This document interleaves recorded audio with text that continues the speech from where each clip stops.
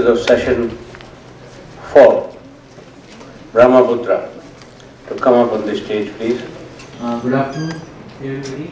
Eminent personalities from the field of defense and other associated uh, areas. It's indeed a very a great privilege for me to be here and, and, and share some of the thoughts on the areas, on the issues which are not yet receiving the kind of attention that they should receive. These issues are such that in the, in the, immediate context, in, in even in a decadal kind of context, they may not appear to be something very serious. But when you look at the long-term strategy and long-term longevity of the country and integrity of the country, these areas have got a very vital impact to make. Because we are inextricably linked for our water security to Himalayas. And once we link it to Himalayas, a substantial part of it is lying at our borders and slightly beyond borders. And that is where the role of the neighboring countries, especially the north, uh, northern neighbors, northeastern neighbors come to a very, very vital kind of a issue. So we have a very, very important uh, situation that is developing in the northeast especially with on one hand confused mindset in the minds of our policymakers about the developments that are required to be done in order to establish our foothold over the resources that are there. And on the other side, a silent but a steady progress on the measures that will be required by the growing demands of the Chinese and other populations to utilize the water resources which we very mistakenly consider as exclusively our own. So we have a very useful session ahead. I have two very eminent speakers. Claude has already been introduced. She he is a he has a, a very eminent uh, position in the ideas of strategic thought, and similarly we have Dr. Nimmi Kurian, who also have, have a very rich experience and, and analysis to really provide in this area. So uh, I would request uh, Dr. Nimmi Kurian to take up uh, the stage first and, uh, and, and give her her presentation. Thank you, Mr. Pandey. I couldn't have asked for a better introduction to, uh, to the um, framing of this session. Um, and um, I'm delighted to be with Claude again on a panel um, to think around questions um, on the Brahmaputra and our dialogue with uh, China. Uh, I think uh, let me frame my presentation today around three uh, questions. A set of three uh, what, why, how questions. Uh, so to begin with, I, uh, what is the what is the uh, what is really wrong with the India-China conversation on water? And I argue that there is something deeply problematic and flawed in the way we have framed the conversation of water um, around the Brahmaputra with China. So, uh, and why this is so, I'll go on to explain. And uh, how do we, and that is the trickier and the trickiest uh, part of the, of the dialogue of, of, thinking through, is really how do we structure questions of uh, benefit sharing, risk allocation, and um, uh, trade-offs on a whole bunch of environmental goods and bads uh, on, a, on a shared transboundary uh, uh, water basin. So I think uh, to begin with, uh, with the what question, what essentially is wrong um, with the India-China conversation on, on the Brahmaputra? I think essentially what is fundamentally wrong with the India-China conversation on, on Brahmaputra is that it has inadvertently become a single issue debate. A single issue debate fixated on diversion, whether will China divert or not. And what this is, what this fixation with diversion has really done is that it has unfortunately diverted attention away from a whole bunch of critical issues that do not find a place in the mainstream research and policy imagination around questions of uh, Brahmaputra. So, uh, and I'll come to that in a bit. Uh, let me look at the why question and why is this so? Part of the reason really could be about how we frame water itself. For instance, do we frame water as a regional public good? And here I'm talking about the Brahmaputra or a shared uh, transboundary water uh, basin. Do we share, uh, frame water as a regional public good or do we frame it, does, is it really, uh, does it only have very uh, transactional values? And I like, let me give a couple of examples to illustrate what I'm trying to say. Um, uh, we have, uh, for instance, a data sharing agreement with, with China as a result of a, a couple of MOUs, which, and there's, it's a, there's this feel-good narrative about it that there is, China shares hydrological data with us from three uh, stations in, in uh, Tibet uh, from June to October every year. So um, the, let's look at the terms of this uh, agreement that we have with China. India pays uh, China annually 82 lakh rupees for, to procure this hydrological data. So you might ask, and so what's, you might turn around and say, so what's wrong with that? We pay and they fetch. So nothing really except that this year, especially um, what is interesting is during the, um, with, with, with Doklam in the backdrop, they decided to deny or they refused to share hydrological data with, uh, in, with India on, on the Brahmaputra, citing technical considerations. Fair enough. But, um, uh, but the same technical considerations did not so stop China from sharing the same hydrological data with, with Bangladesh on the Brahmaputra. So what do we make of these? You know, uh, that's, that's really a question and it's also a sobering reminder of the, of the fragility of our institutional mechanisms that we, we feel uh, is actually, we think, as I said, there is this feel-good narrative that we have institutionalized mechanisms of, um, of um, water. So, um, and so that's really one model of uh, water sharing or, or data sharing. So this data denial by China, how do we read it?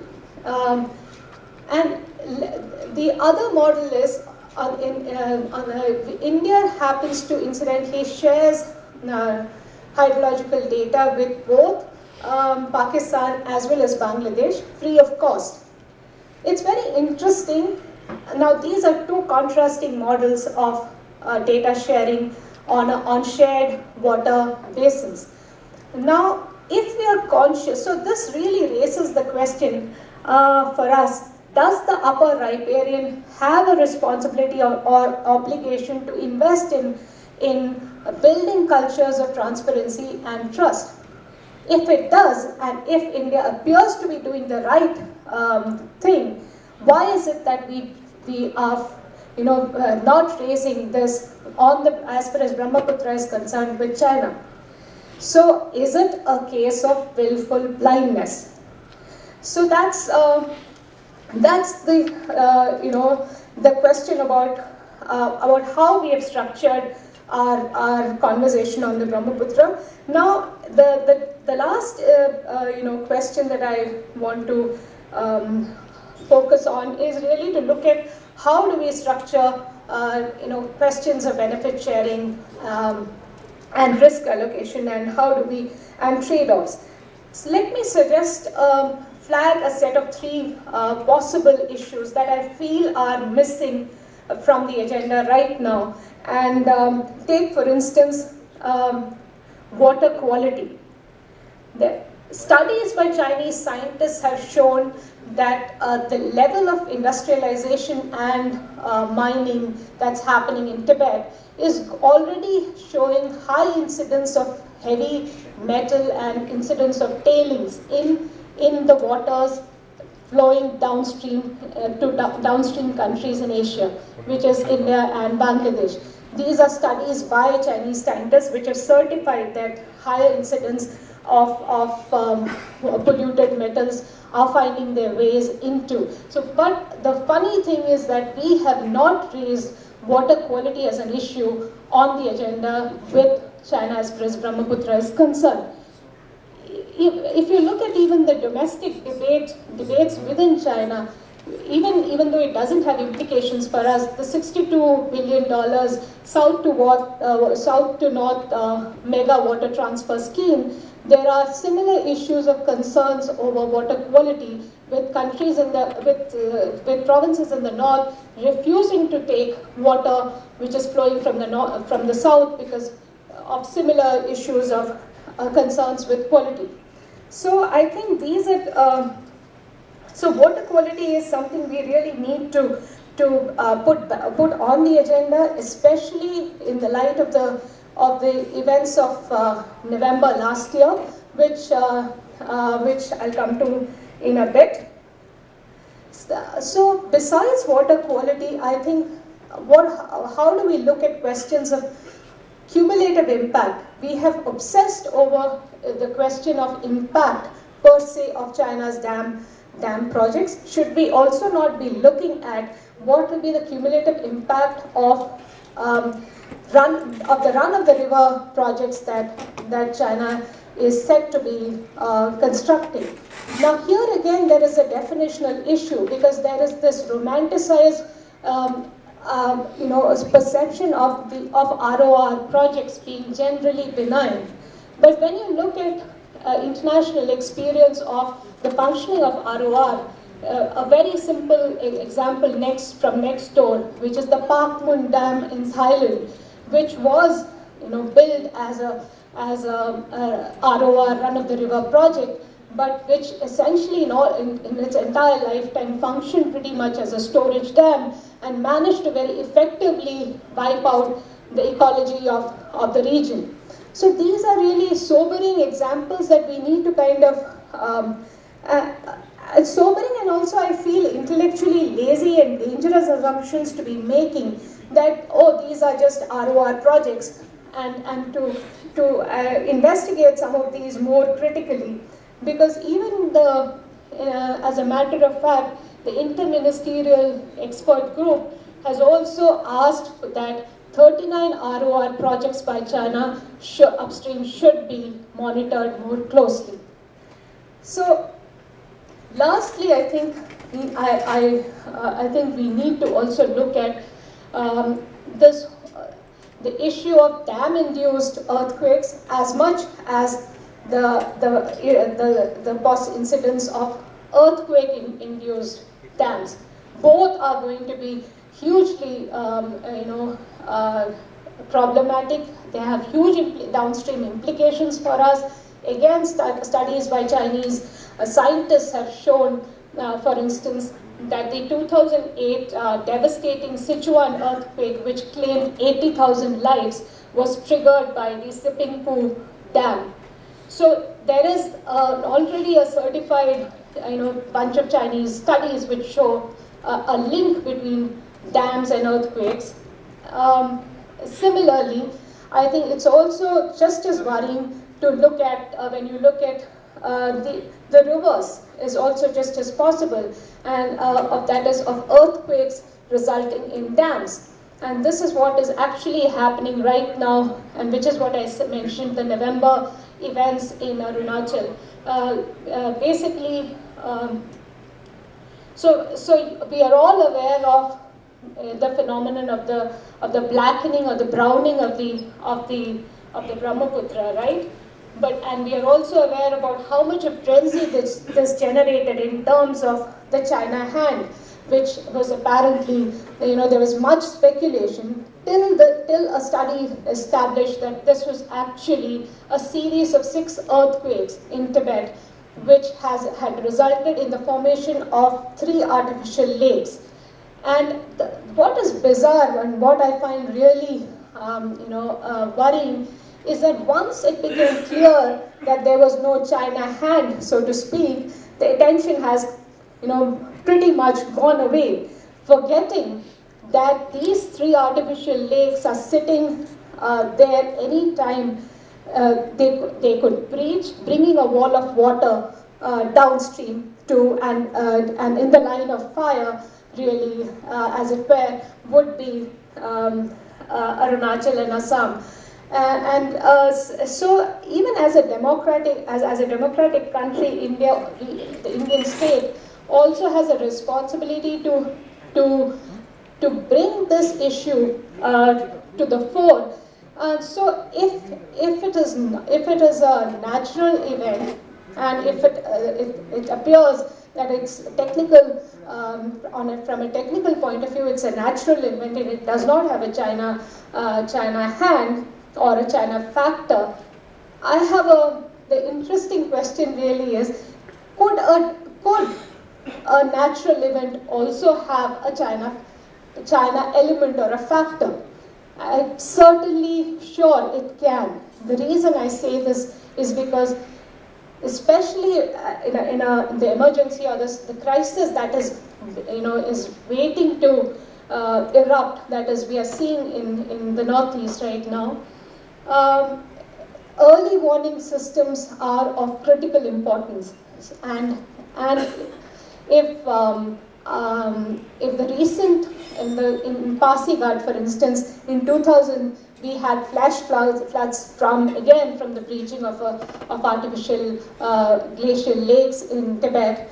That point in time, which, which led to a lot of loss of life and, uh, and property in Arunachal, at that point of time, unfortunately, and this is a sobering reminder, China did not issue any reminders, did not give us, you know, alerts, and which was which are crucial if we are to get enough time to be able to make the relocations uh, of, of people and um, and minimize damage downstream. So technology can only get you to a certain extent, but, but you need to have those early warning systems and coordination mechanisms in place. So, so uh, just to um, just to conclude, um, there is, um, I think, uh, it's in our interest, as I would say, to widen and broaden the the agenda or the,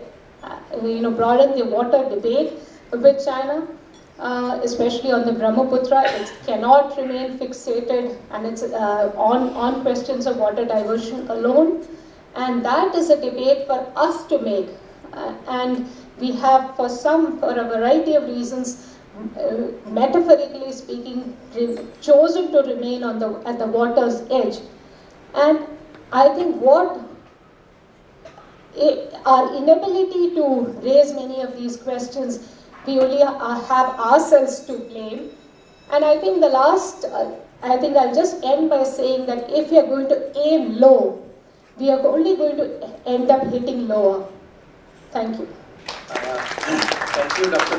Surya. Uh, it was indeed a very, uh, very different perspective. Now I would request Dr. Claude to kindly give his so I think Nimmi has done has done half of my job or three quarter of my job. I fully agree with, with what she said, and uh, I think India needs to be a little bit stronger uh, in its dealing with with, uh, with, China, because especially things like that, that non-respect of agreement, which has been signed, which has taken months and years to sign, and the next day, for one reason or another, unconnected, you stop uh, fulfilling this agreement is not okay, especially when, when you are paying. Now, uh, that earthquake, you know, but it came in the newspaper. In India, it's always come, it blows up, and uh, China is di diverting. But the fact is, the water was black, and uh, I immediately thought of the earthquake because I was following the Chinese press, and I saw this earthquake, and um, they have done a lot of effort, and they localized it was quite uh, uh, big earthquake. And uh, it's later on that it was discovered that there was this tree, uh, tree blockage. But the fact is that why China should wait one month to uh, speak about it, and why India didn't know. The minister, Mr. Kiren Rijiju, who was from there, said, we don't know, we are studying. Everyone was studying. They should have known from the day one that this, this, this thing has happened. Now this three blockage, I think Nimmi mentioned, one point I want to make again and again, this area is very fragile. Um, General Roy said this morning is not so important to divert some of the water of the Brahmaputra. I think it's very important for the, the entire uh, ecology of the area because it's extremely fragile area. In 1950, it was the, um, the largest earthquake uh, in Asia, 8.6 in uh, Rima, which is north of the Lohit, north of Walong and Kibithu, just 30 kilometers from Kibithu. That, that was the epicenter. It, in India, it was called the Assam earthquake because Assam was devastated. So that entire area is very, very, very fragile. And to dam it, whether it's north of the McMahon line or south of the McMahon line, it will create problem. Now, the, uh, just to give an idea why the Chinese wants to do that that uh, ideologically there's two China, the humid China in the south and the dry China in the north. But uh, one, um, most of the water is in, in, in, the south, but agriculture in the north. So the old idea of China is to take the water where it is and to take it to the north to help the agriculture. And the main uh, symbolic issue is the um, Yellow River is dying. More, more of 250 days a year is, is dying. If it uh, goes on like that, uh, it will be uh, uh, fully dry and they won't have. And for them, it's a symbol of their entire civilization. So it's very important that to revive this thing. So most of the projects have been to bring water to uh, the north and the Yellow River. So uh, you know about the uh, uh, tree diversion to the east route and the central route have already started. It's in the pipeline. It, it, it will happen. Now the, the very uh, sorry, controversial one is the, uh, the west one because nobody exactly know where it, it, will go and it's where there is a lot of speculation and where uh, uh, the possibility of diverting the Yarlung Tsangpo. So you see the Tibet water tank of Asia. Most of the uh, important uh, rivers of, uh, of the plateau go to all the area in China mainland as well as India as well as in Indochina. And so I think when Mao Zedong took over Tibet, he certainly knew that there was some strategic issue, there was ideological issue also to so-called liberate the Tibetan people, but there was also the issue, strategy to control the plateau and to eventually be able to use. Tibet is an incredible water tank. So whether in uh, the Brahmaputra can do without the water of uh, Yarlung Tsangpo, I don't fully agree with uh, Roy Choudhury but it remained that it's such a water tank that uh, uh, apart from the ethical side that Mini, uh, Nimmi has uh, mentioned, uh, India needs and Bangladesh need this water. So uh, in morning someone mentioned about the Great Bend. For many, many decades, when these guys, these pandits were going and walking in Tibet from the survey of India, they, would they didn't know at that time. They were putting logs here to see if it reached here, and they actually this log uh, they discover much later. So nobody knew exactly what was happening in the, it's only in the 40s that we got to know exactly that about the, the uh, Great Bend. So uh, most of the course is in, uh, is in Tibet. I go fast because the time is running. Uh, the Great Canyon is now becoming a very uh, touristic area for um, 25 millions of uh, Chinese and have visited Tibet in 2017. Now more than 3.5 million have visited Nyingchi. Nyingchi is north of, of the McMahon, and one of the main attractions is uh, this uh, Grand Canyon. In 1957, I found uh, in the archives, in the National Archive one day, a letter saying that from the political officer in Sikkim who was uh, looking after the Himalaya, uh, that idea of diverting uh, the Brahmaputra that the uh, Indian intelligence had, had, got to know. So it's an old idea. That map shows that there was dotted line, they didn't know.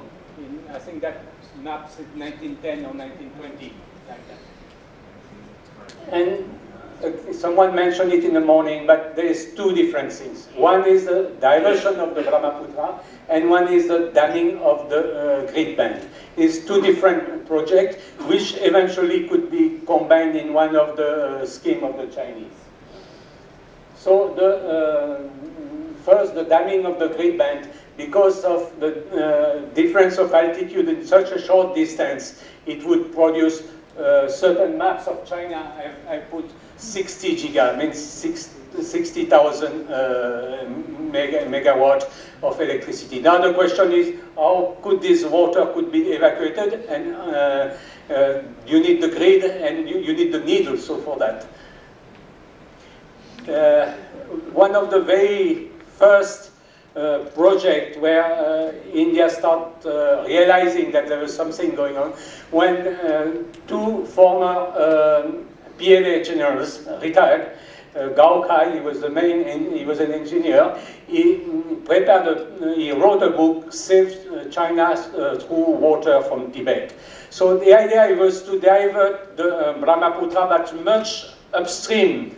I think near the Yarlung, um, uh, near the Tsetang, much, much, much closer to Lhasa, not at all near the, the, the Great Bend, and to send this water to the Qinghai Lake, to the Tibetan they call Kukunor or Chonampo, and to send the water there, and from there to have a reservoir and send it to the Yellow River and feed the Yellow River to make it a uh, uh, living river again.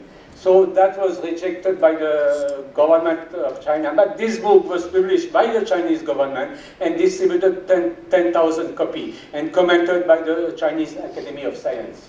So, as I mentioned, he did elaborate plans. Uh, these calculations, according to the Chinese Academy of Science, were faulty, and uh, eventually it was rejected. But like any rejected project, it remains in the drawers of the Chinese for one day or another to pull it on a different uh, format. I think what I think there's a problem with the different uh, fonts. What uh, also woke up uh, government of India and the Central, Military, uh, Central Water Commission was the uh, incident. First in 2000, 2000, year 2000, and later on in 2004, 2005. So the uh, glacial uh, lake form, uh, Pareechu is one of the tributary of the Sutlej. Before uh, uh entering into India, uh, it goes uh, in, into, into the Sutlej. And you had this huge glacial lake, 20 foot football ground. And one day the water was released and uh, it created extensive damage in uh, Kinnaur area. So many bridges, so many roads were destroyed and uh, everything. And again, what Nimmi was saying that if India had advanced um, warning about that, this would have been avoided. So when President Hu Jintao came in 2006, he said that the, uh, first, uh, uh, China is not building, diverting the water, and he, he agreed to share Share meaning share means uh, paying. Eh? You have to uh, you, you mentioned it's not fully sharing, but at least to provide. And uh, the Minister of Water Resource also said that it's unnecessary, unfeasible, unscientific. He was speaking about uh, Guo Kai project once again, it remains in, in, in the drawer. Now, a far more serious issue is uh, in 2013, the uh, Yellow River Conservancy Commission of the Ministry of Water Resource published on their website. Uh, I got after months I got the translation, it's about 50 pages in English, the translation, a detailed plan to uh, use uh, uh, a dam on the Great Bend to produce enough electricity to uh, send to northern China and to eventually to make the Gobi Desert green and to re revive the uh, Yellow River.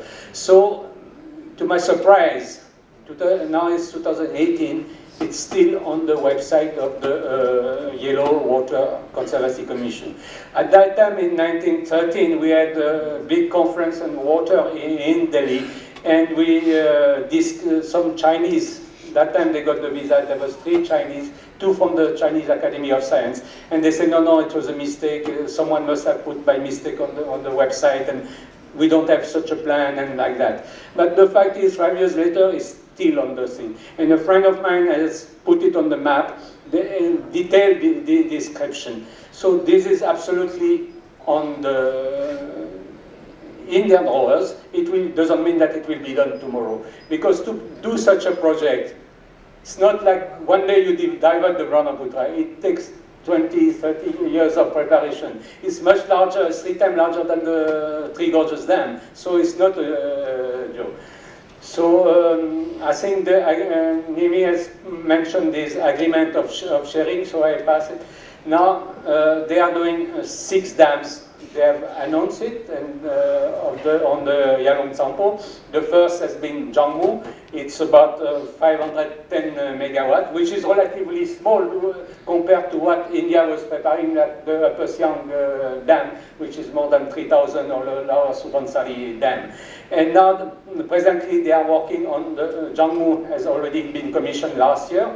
And uh, now another dam in one place uh, called Gyatsa, Gyatsa in, in, in, thing, which is a few kilometers. So it's a chain of uh, um, um, cascade uh, uh, dams, all all um, run of the river, but as Nimmi said, that it's also damaging extensively the environment. For example, all the fishes in the Yarlung Tsangpo will not pass through this uh, dam, though they have the possibility to do a fish uh, ladder, but they will not do. So the, uh, the entire ecology will be changed and uh, that will have consequences.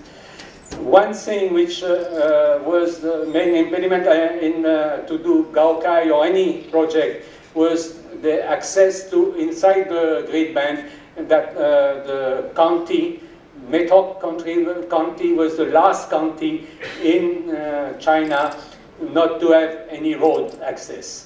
And in 2013, I think when Mr.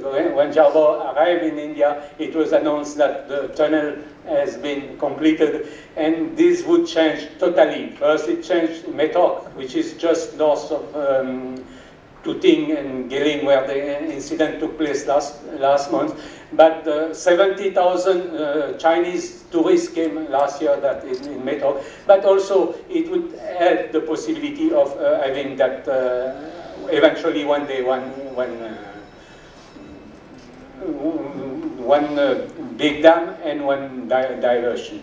Now, I mentioned about the seismicity of the area.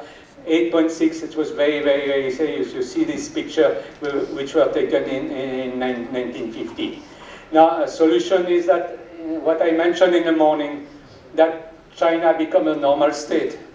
But are they ready to become a normal state? Now, uh, India and Pakistan had difficult relation since, uh, since the partition. But India and Pakistan have a Indus Water Treaty. And Many people say it should be renegotiated, this and that, but it's still functioning. Even uh, some people say it's in the favor of India, but it's still there. But we can't have today something uh, like that with China. If the, the, whatever India is buying from them, the, the, the data flows, we, uh, suddenly because of uh, any other external reason, they, they stop giving. One time a Chinese um, um, diplomats spoke about a treaty, tripartite treaty between India, China, and Bangladesh. I saw it only once. I think maybe he had spoken too much or uh, without permission, but it's eventually a, a possibility. Uh, I said that uh, the UN Convention on Law of Non-Navigational Use of International Watercourse, they, one of the three uh, countries we opposed it in, in, the UN, so I don't think they are in favor of having uh, um, multilateral or participate to in multilateral UN convention. They prefer to deal state to state. So uh, I don't know really what, what, what, are, what are the possibilities, but uh, only one possibility I see that the EMEA put the foot down and said, you, that's, uh, and then we don't bite to your excuse, technical reason or like that, is uh, we want the data.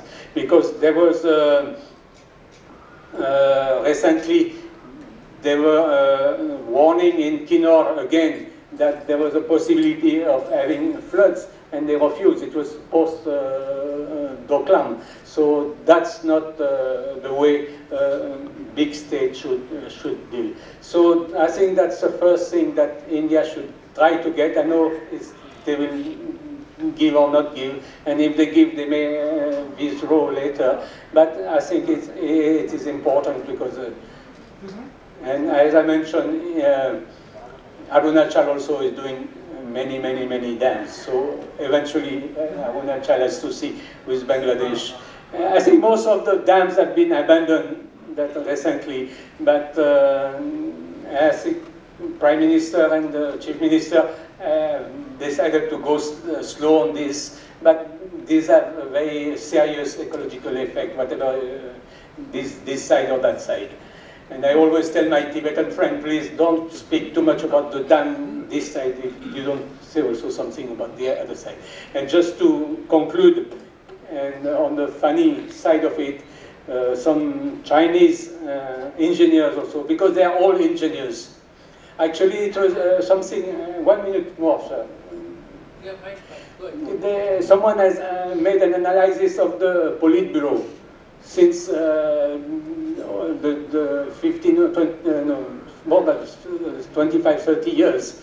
And if you look at the 15, 16, 17 Congress, most of uh, members of the Politburo had the engineering background.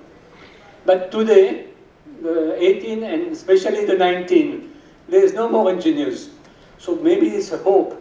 They, uh, have been graduated, uh, the present Politburo, the 19th, uh, they have graduated in humanities. One, one is a doctor in uh, Chinese medicine. So uh, the engineers are not ruling China, China anymore. But another, another engineer has done, has very detailed plan to divert the Indus to Xinjiang and to make Xinjiang um, again, or again, uh, to make uh, Xinjiang green. But I think this, uh, they will have to deal with their uh, all-weather friends. So uh, India has nothing to do, uh, let Pakistan deal with them if they try to do to this. And just to conclude, this tunnel of 1,000 kilometers between the Great Bend and Xinjiang, I think it's rubbish, but that's my opinion. I think their planting is part of their uh, uh, war, uh, that media warfare, information warfare. They are planting stories like that. This story was planted in South China Morning Post, which belongs to Jack Ma, and I think it's a planted it's a planted story because it doesn't make any sense. If they want to do a tunnel like that, they could do it from other places than from that area. Because first of all, there's much more than 1,000 kilometers. Thank you so much. Uh, thank you, Mr. Claude. Uh, thank you. Uh, actually, uh, when I thought that maybe we will be, uh, you know, discussing, I, I was having an idea that uh, looking at the name, I was, I, I, prepared the presentation in a slightly different manner, but uh, still the core issue remains. at the outset, let me say that in Brahmaputra lies the water security of more than 50% of our country. The security in the sense that currently, as you, have, as you would have seen, all the states south of Vindhyas are facing extreme water scarcity. There are very acrimonious disputes amongst the states about the dwindling availability of water. Now, if you look at the situation, the problem is not that the water in the rivers have decreased. If, if, if, if you look at the yields wise, there is absolutely no much change. The yields are generally remaining the same, but the demands have gone up substantially. And that is something you cannot really avoid. Because without agriculture, in the immediate sense, it is not possible for the country to sustain from an economic point of view and from a social point of view. Because if you will have 50% of your population engaged in agriculture and suddenly you withdraw that particular uh, you know, tool, all of a sudden you will have huge number of people on your roads with which you will not know what to do. So, if you look at the water security of the country, we are at a very, very dire kind of situation as far as the water security is concerned. And these security issues are such because of the kind of federal structures and because of the various kind of you know political and social uh, kind of issues that have that have really been allowed to fester i would say. A day may not be far when some state may say that i secede from the country. You already have punjab termination of agreements act which is nothing but declaration of secession from the rest of the states. It is not a joke. We if we do not do anything, if we do not think strategically, in 50 or 60 years' time, it will be seen that there will be division of this country because of the water.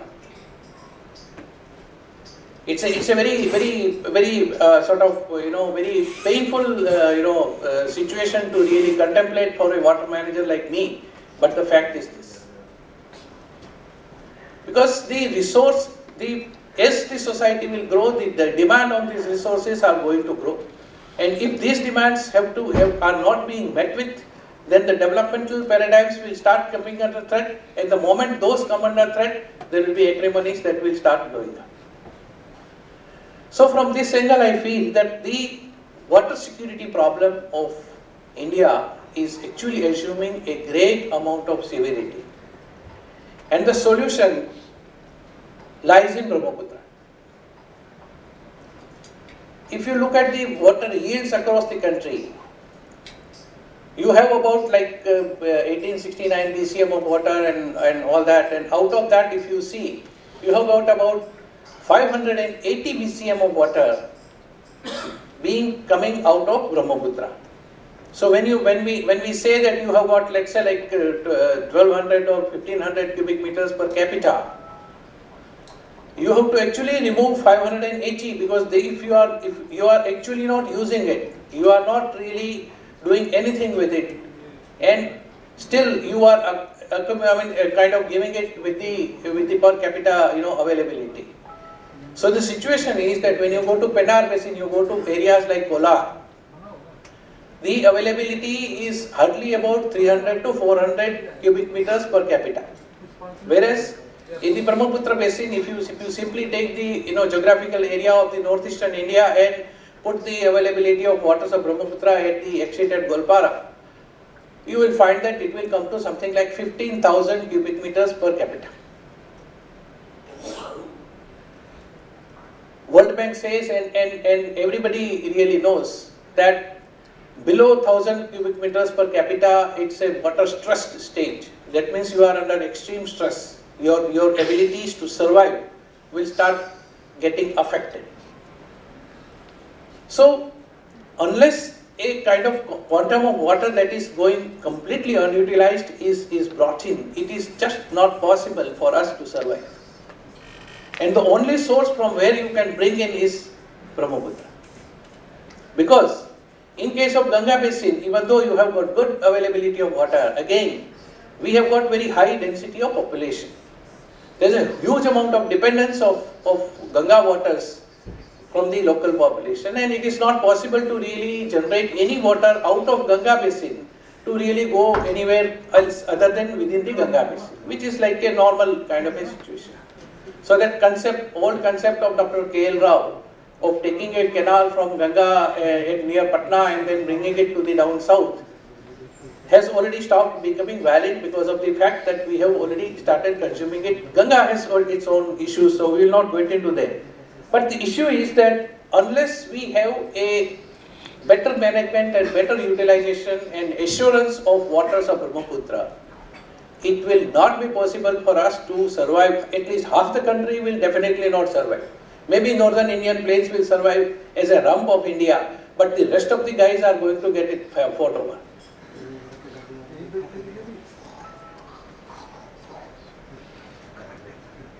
So these are the problems that we need to really solve.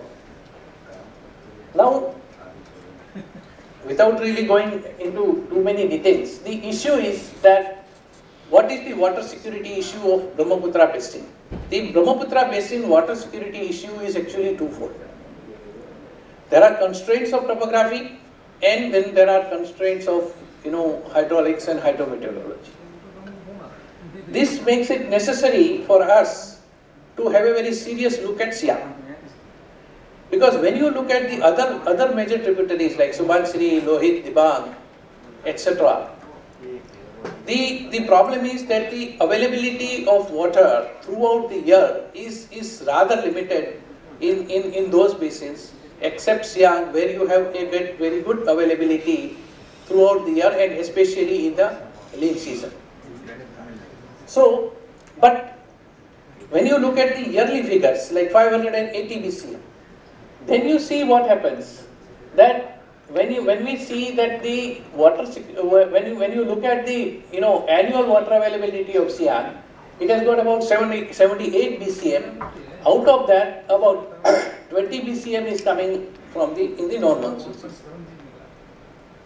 So in, in the in the kind of a situation where your flows are continuously varying but your demands are generally constant. And when your demands are constant and your flows are varying, the problem is that the average figures actually lull you into sleep. So many times when you look at the yearly water availability of Brahmaputra, you kind of get lulled into sleep, sleep because of the extremely high, high contribution that is coming out of the monsoon rainfalls. But the monsoon rainfalls will go away within the almost 15 to 20 days time into the sea. They are not going to stay anywhere. And you don't have any other storage sites. So, so this is the kind of situation. See, when, when, you, when you look at this rainfall map, rainfall pattern, practically you can see that the red line and the yellow, I mean the line that divides is the McMahon line. Whatever monsoon rainfall that is occurring in, in copious amount is practically from the down below within the Indian territory.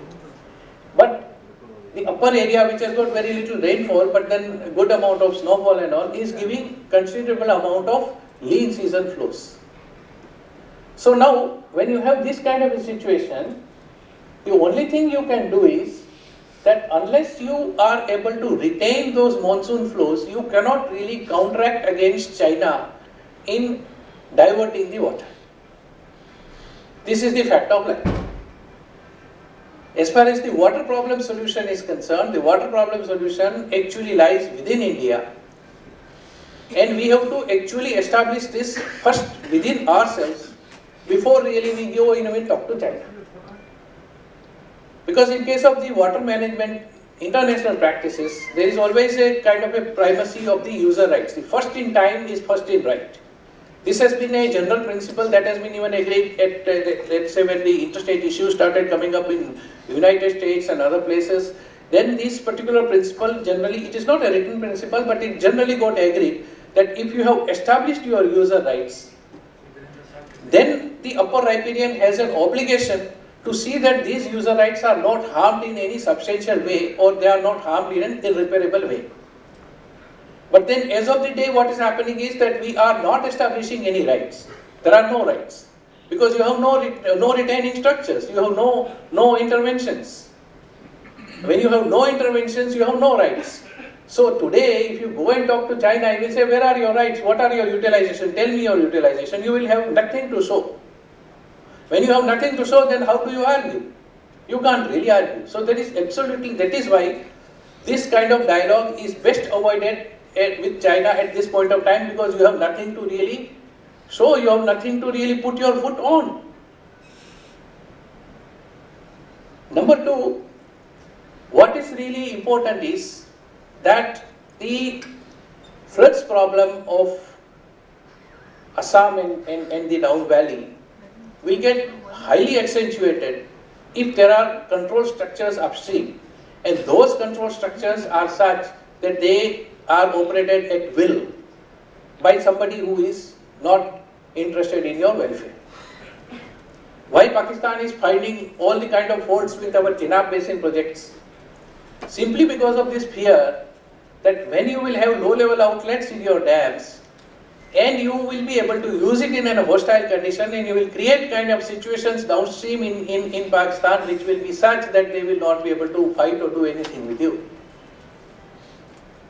And the same situation can, can be developed for us if we do not really act proactively.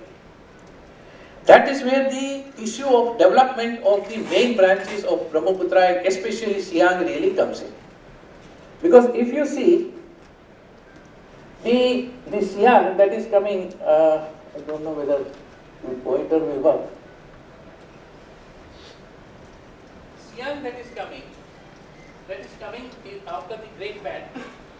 and, and here we have we have the, the, the, here we have the duty where we where we are able to we measuring our we have got a hydrological station from Central Water Commission where we measure the flow and then the river river goes down the only site available in in this area where you can build a storage or capacity is somewhere over here.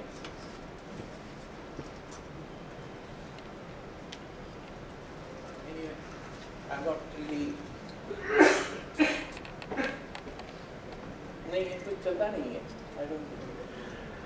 So only only place where you can you can actually build a dam with a storage capacity of about 9 BCM is somewhere at where, where we are showing it as Siang upper stage 2. If you build a dam there, then what happens is you get about 9 billion cubic meter of storage capacity with about 10,000 megawatts of generation. And with the 9 BCM of capacity, we will be able to absorb any kind of floods that will come by way of floods from the China side. Because once you have got good reservoir operation in, in place and you have got some kind of good uh, good handle over the situation through our remote sensing and all, we, we do have those capabilities. So then what happens is that the, all the threats to the downstream valley can be completely eliminated. And once you eliminate that, and once you have built that as, a, as your as your right, and then the most of the most of the monsoon flows uh, start getting captured by various other strategically located projects. There are basically three or four strategically located projects. One is this uh, Subansiri Middle, other is of course this Siang, this one is Dibar, and then this Demri. That's all. These are the only projects that you need in order to manage the floods and ensure water security for the southern India. Because then what can happen is that you can always pick up the waters at around uh, Jogigopa and through a canal, crossing Ganga, going to Mahanadi, and going to Godavari and down below, waters can reach all the way up to Vaigai. And we can very conveniently divert about 43 BCM of water out of this scheme, which can today, if you look, this 43 BCM is not a small figure because if you look at the total storage capacity that's available in Andhra Pradesh, Telangana and Tamil Nadu, it is not 43 BCM. So you can understand, it, the Tamil Nadu will stop getting into the hair of Karnataka, Andhra Telangana will stop fighting with each other, Andhra Telangana combined will stop fighting with, uh, with Maharashtra and Karnataka and generally there will be a situation where you, you will have kind of a situation which will be quite comfortable with us. And this is something which lies within us. Unfortunately, we have got some kind of dialogues in our country who is kind of going into all kinds of other you know uh, issues and preventing these kind of strategic developments. Unfortunately, the strategic thought on water resources has not yet really taken root in the country. This, this root has to actually come because of the fact that if you do not have this, you are not going to have your country in the first place. Number two is that as far as the data sharing is concerned, data sharing is a, is a, is a mechanism which was kind of an agreed mechanism of a lollipop kind. It had got no substantial value from a hydrologist like me. Brahmaputra data will go from wherever it is getting measured, it will go to Beijing, it will get transmitted through diplomatic channels, then it will come to us. By the time the water would have already flown.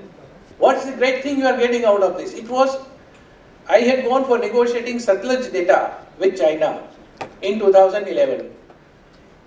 The situation is that in Satluj, what they are doing is that around slightly downstream of that Pareechu uh, lake formation, they say that we are giving, we will give you water levels. Now, water levels are really carrying no meaning if you do not have the idea about the discharge that is coming. Ultimately, flood forecasting and flood is a volume game. People have a lot of confusion about the discharge and volume. The fact remains is that flood is a volume game more than a more than even discharge because instantaneous discharge but with a very little volume can do relatively little damage. So now what happens is that they will give you a level in an area whose topography you do not know. So we said that you are giving us the level, that means you are going to that site since you are going to that site, if you can give us a cross section, then with the help of that level, we will be able to understand that how much flow is actually passing through that particular place. And once you know that uh, that kind of flows, then we will be able to do a much better preparation of flood in, in our Satluj Valley. I negotiated for two days.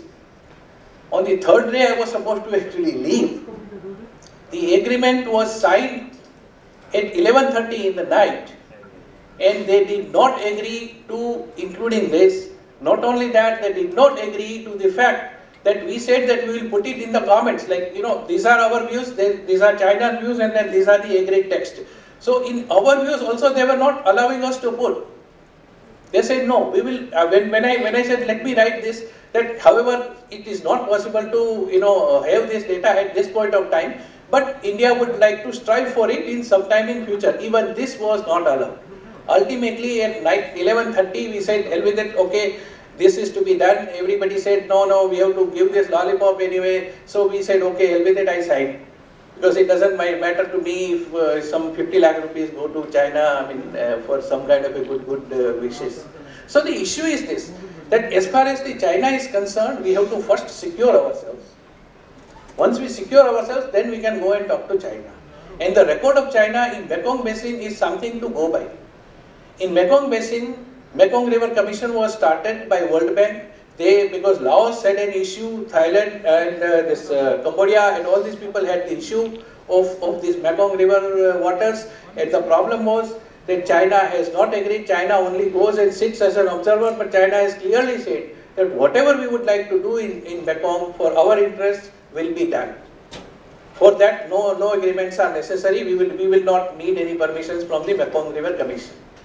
So whatever Mekong River Commission has become like, you know, good piece of paper and time passing mechanism for the countries to go and sit and down. So the issue is that when you, when you look at the attitudes, defense in form of creating rights, creating user rights, creating our, our own, uh, our own uh, you know, assets is much more important than before looking at the diversion plans of China. Because then let them divert, then we will take care of it. But before doing that, if they divert, we will not be in a position to really put in all these things in, at a short notice. These are not small projects. 10,000 megawatts will go to 90,000 crores. And we will have to spend those, of course, 90,000 crores, we will have to spend it over about 10 years period of time. But then all the time, all the same, it is something that you will have to start someday. We are not, we are not even yet starting. We are still debating, we are still gazing our navel.